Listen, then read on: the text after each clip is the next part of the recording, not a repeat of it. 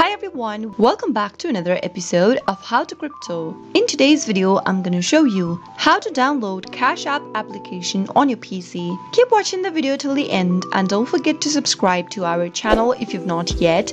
Press the notification bell icon so that you'll never miss another upcoming upload from us. If you'd like to download Cash App application on your PC, then it's quite simple. First, you'll need an Android emulator. If you don't have an Android emulator installed on your PC, simply go and open up a web browser and go to the search bar at the top and type in www.bluestacks.com and press enter on your keyboard.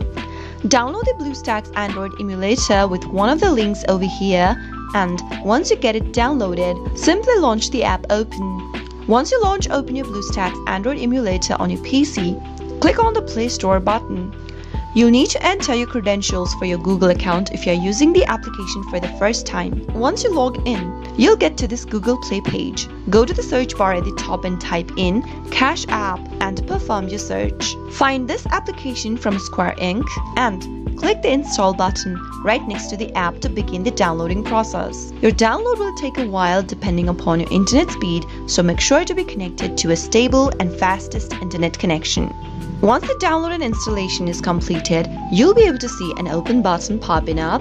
Give it a click to launch the app open. That is how you can download Cash App application on your PC. Now you'll be able to find a shortcut available on your desktop for Cash App as well. Hope the tutorial was helpful to you.